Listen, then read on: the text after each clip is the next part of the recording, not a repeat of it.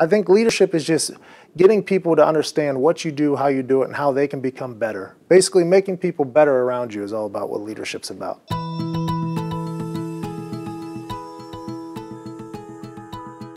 I think there's various different types of leaders. There's people that are very outspoken, that kind of like do as I say. This is kind of the way things are go. Then there's people that show, and then there's people that do both. Tim McAfee is my dad, and uh, he's the guy, he's the reason why I'm here. He was a truck driver whenever I was a kid. He got into anything he could do to make money for our family. Uh, he remortgaged a house so I could play soccer. He taught me a work ethic that I'll never, I could never learn anywhere else. He used to shag footballs for me whenever I first started kicking. He threw out his shoulder basically, with shagging balls for me. My dad is the most influential person I ever met, and I wish everybody could have a father like him. He's really the guy that drives me to be everything I am. Whenever I thought I was getting good at something, he always gave me bigger goals to strive for. My dad is the man uh, and I appreciate him every day.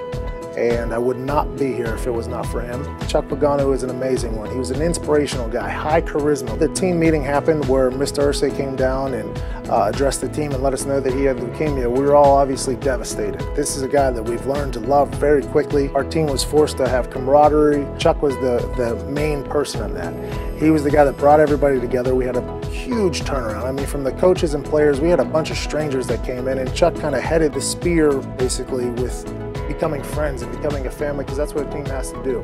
So obviously, we all learned to care for and, and loved Chuck. And when the leukemia situation was addressed by Mr. Irsay, we were all devastated. Then Bruce Arians came up whenever he was announced interim head coach, and he said, "We're going to leave the light on for Chuck until he gets back." And whenever you think of Colts, whenever you think of anything that we are, you think of Chuck. Uh, faith, family, football, trust, loyalty, respect, character, everything basically is what Chuck Pagano is. I can only hope to one day be like Chuck. All these people had a hand in building me as a person, and I'm very lucky and privileged to meet all these people.